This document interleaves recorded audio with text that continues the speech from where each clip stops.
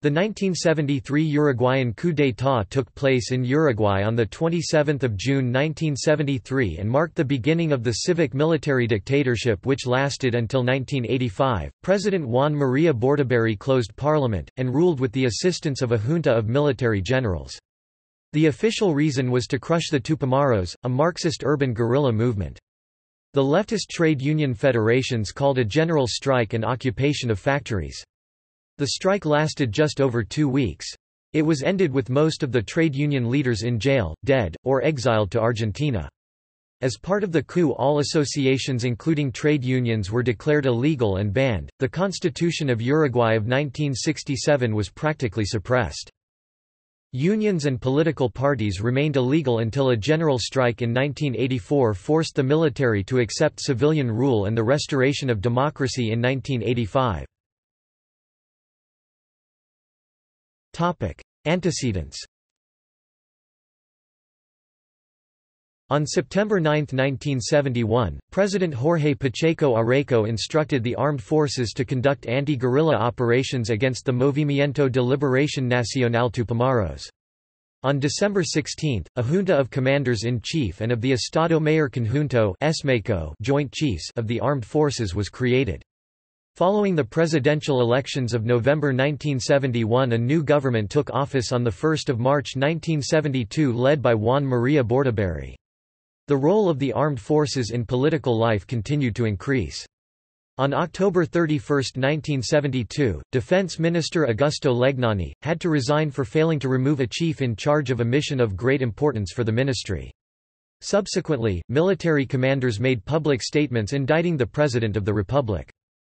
On February 8, 1973, in order to control the buildup of military pressure, President Bordaberry substituted the Minister of National Defense, Armando Malet, by the retired General Antonio Francesi. In the following day, the new minister met with the commanders of the three forces and only found support in the Navy. At 8 o'clock of the same evening, the commanders of the Army and the Air Forces announced from state television they would disavow any orders by Francesi and demanded that Bordaberry sack him. At 10.30 pm Bordaberry announced from the private Canal 4 that he would keep Francesi in the ministry and called on the citizens to gather in Plaza Independencia, in front of Government House Casa de Gobierno. In the early hours of the morning of February 9, Navy infantry Marines, barricaded the entrance towards the Ciudad Vieja of Montevideo. In response, the army pulled its tanks into the streets and occupied various radio stations, from which they exhorted the members of the Navy to join their initiatives or propositions. Decree Comunicado number 4 was issued, signed only by the commanders of the Army and Air Force, in which they posed in achieving or promoting socio-economic objectives, such as to encourage exports, reorganize the foreign service the matters of the Ministry of Foreign Affairs, eliminate the oppressive foreign debt, eradicate unemployment, attack illicit economics and corruption, reorganize public administration and the tax system and redistribute the land. On Saturday 10 February, three ministers sought a rapprochement with the positions of the rebel commanders, so that the president would retain his position. At night, the commanders of the Army and Air Force issued a new decree N degree 7, that somehow relativized the previous statement. Several officers of the Navy ignored the command of Vice Admiral Juan José Zorrilla and supported the statements of the Army and Air Force.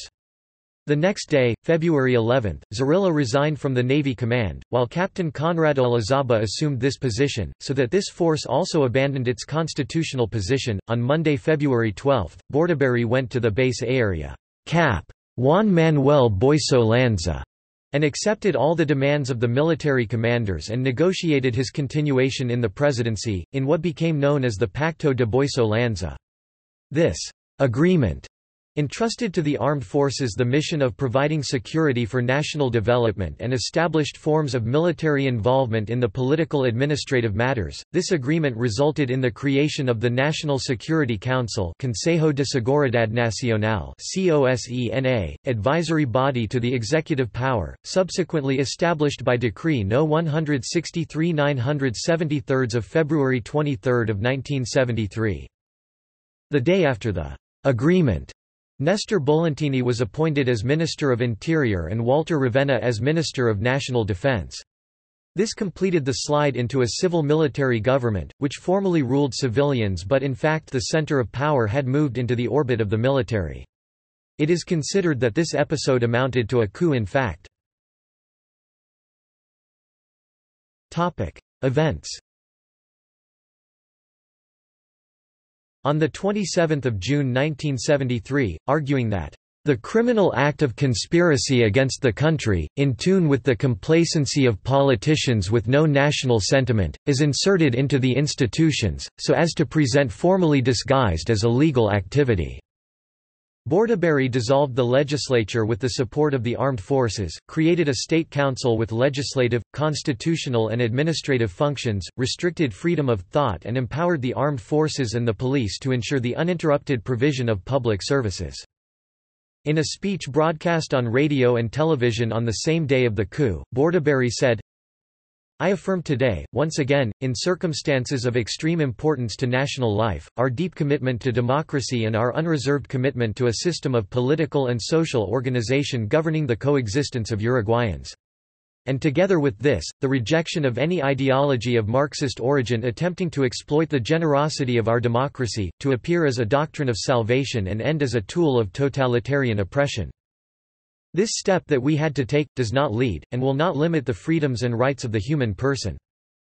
We ourselves are here for this and for its surveillance, for this, furthermore, we have committed these functions to the State Council and beyond, and still above all, are the Uruguayan people who have never permitted their freedoms to be trampled, in response to the coup d'état, in the same morning that the coup was brewing, the secretary of the CNT National Confederation of Workers began the longest strike in the history of the country, which lasted 15 days.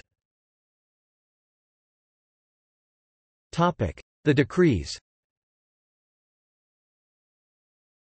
Decree N degree 464 973 of June 27, 1973, bears the signature of Bordaberry and his ministers Nestor Bolentini and Walter Ravenna.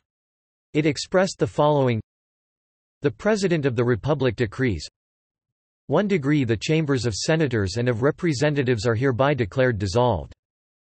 2 degrees hereby is established a Council of State consisting of members that may be designated, with the following powers a. perform the specific functions of the General Assembly independently, b. control the démarches of the executive power regarding the respect of individual rights and the submission of that power to the constitutional and legal norms, c. develop a draft constitutional reform that reaffirms the fundamental principles of democracy and representatives to be duly acclaimed by the electoral body elaborer. 3 degrees it is prohibited to disclose by the press orally, written or televised, any kind of information, comments or recording, which directly or indirectly, indicate or refer to the provisions of this decree, attributing dictatorial intentions to the executive power. 4 degrees The armed forces and police are empowered to take the necessary measures to ensure the continued provision of essential public services.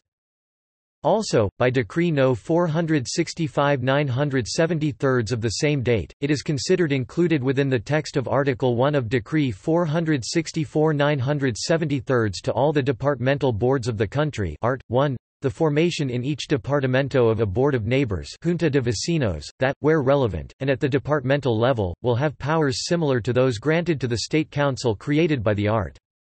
2 of the decree today Art. 2. See also. Civic military dictatorship of Uruguay. Operation Condor. Tupamaro National Liberation Movement. References